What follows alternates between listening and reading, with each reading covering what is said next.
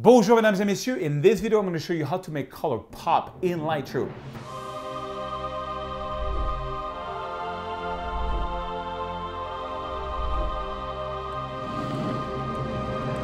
Bonjour mesdames et messieurs, my name is Serge Ramelli. I'm a French photographer from the amazing, incredible city of Paris, France. And in this video I want to take you with me to Kokomo Beach. It's one of the nicest beaches of the Caribbean and I want to show you how you can really retouch the colors in the sunset so they come out really white. It's not always easy, but don't forget you can download the source files if you don't have a chance to go to Curacao. You can just download the source files right away. And also I'm gonna give you my photo photographer toolbox. What is my photo photographer toolbox? Where it's some of my best presets, profiles, textures, and brushes that I use with tutorial on how to use them. It's all free. You can get it from clicking the link up there or from the link under this video. Also, don't forget to subscribe to this YouTube channel by clicking the little subscribe button and the little bell so you get a notification every time a video comes out. As the Bee Gees says, there's a place I want to go and that is Kokomo. Let me show you. All right, guys, really quick, a little video about some of my favorite photo that I took in, uh, this was in Kokomo Beach in Curacao in the Caribbean. So um, I was, you know, they have this sort of, uh, you know, playground for kids here, and the sun was pretty high. This is I, took so many photos. This is the the one that I uh, like the most. So I tried with different characters, and so the sun was pretty high on this one. Then the sun got lower on this one with these two beautiful ladies, and then there was this other lady that was there. The sun was really at the horizon, and then no one was there. So I tried different things. So let's see here. I'm going to use my signature presets, which you can get for free if you click. I'm going to try on this one. I'm going to go crazy. I'm going to go sunset, sunset, linear, dark, something like this. One click and boom, look at that. It's crazy. It's a little over the top, so I'm going to lower down the saturation. Don't need to be so much saturated. Uh, I think on this one, you see, I don't like when there is too much blue in the sky. Remember, uh, I'm going to take the, the, this little spot out. I like, um, you know, a, a, preset is only a starting point. I think I'm going to use the little gradient here. I have a little gradient in my signature preset. I'm going to add a little more blue. There was already some blue there, but I want to get more blue. Uh, let's see, that's too much blue. You got to be very subtle. Because if you add too much color that was not there, you can really see it afterwards. I just wanted to add a little bit more. But because there's a bit of a lag, yeah, that's too much of a difference. You see, I'm going to back it down. I just wanted to add a bit more blue. Okay, that's kind of cool. Uh, on this one, I'm just going to make this, that's all right. I'm going to take my radial circle. If you use my preset, you will see you have to click, there is circles. You have to put this one over the sun.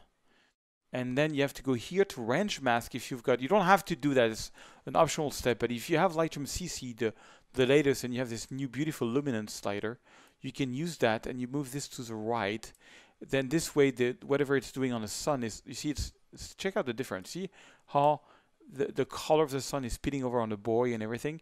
And if I do that it's it's more around the sun because it creates um, it creates a mask. So if you press the option key you can even see what the mask looks like which is really cool. So uh, black conceals white reveals. So the black see the boy is black so he's not going to get influenced by that radial circle. So if yeah if you want to get the signature preset, just download it here. It's for free and you can get it. We have a new way to deliver the files to you through Messenger. It's much faster. You just click and you get the files. Okay, and maybe this one I'm going to crop. But before I do that, I'm going to select all and I'm going to synchronize what I did on this one on the other ones because I think it will do most of the heavy lifting. So let's click on this one. Uh, this one, the sun was coming down a little bit. Again, a preset is just a starting point. Like I find this one really likes of contrast and uh, maybe add a bit more contrast on this one. Maybe add a bit of vibrance. I didn't add any vibrance on the other one because it was so bright. Uh, and then let's say this one. I love to take photos when the sun is right at the horizon. And uh, the two pretty girls left. And I got an old lady that came, but you know that's life. But she was had an interesting hat, so that's kind of cool. And then the last one is this one. So I always work like this with preset. It goes really fast, you know. So which one do I like the most? I'm going to press N. N is going to put me into survey mode. Okay, Shift Tab to go really full screen. And I can see all the photos. Which one I think will do best on 500px? Uh, I think the one that's going to do best is this one. is the one of the boy because the one the, the expression of the boy is cool, but uh, the I don't like so much the water down here on this one. It's a bit blurry because it's lagging. So I think I'm going to crop this one.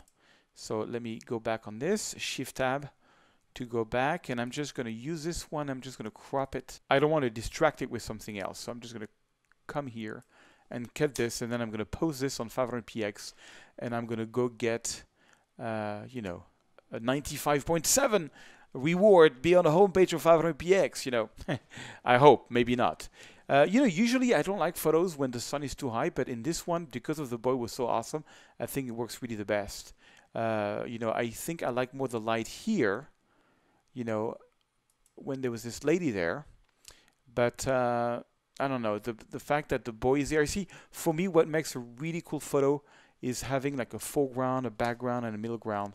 And I think, you know, he is just so awesome, you know, with the way he, uh, he does with his arms. It's just more cute. Okay, guys, I hope you like this video. And if you do, please give it a little like. Also, don't forget to subscribe to my YouTube channel by clicking the little subscribe button and clicking the little bell so you get a notification every time I do a free video. Also, don't forget to download the source file so you can train at home, follow my tutorials, and get it right also. And don't forget to download my photography toolbox. That toolbox is going to use some of my best presets, profiles, textures, and brushes, and tutorials on how to use them. Mesdames et messieurs, au revoir. I will see you in another video.